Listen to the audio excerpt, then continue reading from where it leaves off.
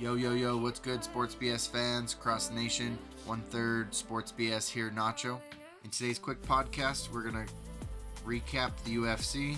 We're going to talk about our upcoming future sports NBA, NHL, MLB, MLS. So, once again, guys, we do cover all sports here at Sports BS. If you do enjoy the podcast, please put a like up on the video. Let's get started today. Last night, UFC 299, very good fight card. Sean O'Malley went five rounds.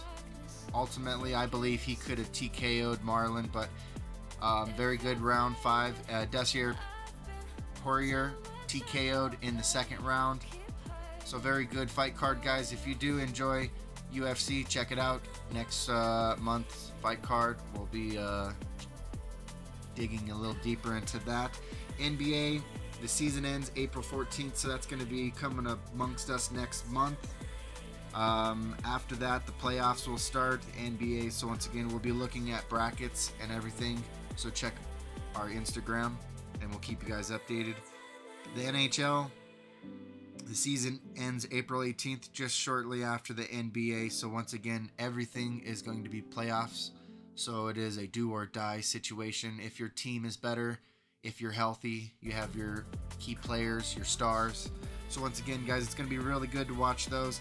MLB and the MLS, those two particular sports are starting very soon.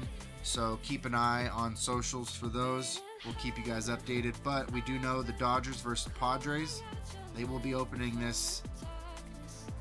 And um, this starts about the 20th, 20th through the 21st and then everybody else starts their home opener on the 28th.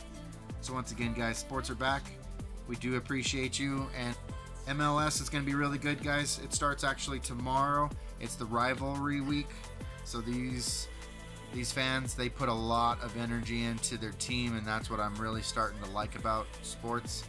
Um, it's all about the crowd and you know loving who you support. So once again, the Portland Timberwolves will be battling against the Seattle Sounders. So, once again, guys, this is the most anticipated rivalry of the year. So, we will talk to you guys in the next podcast. Thank you. One third Sports BS. Nacho. See you in the next one.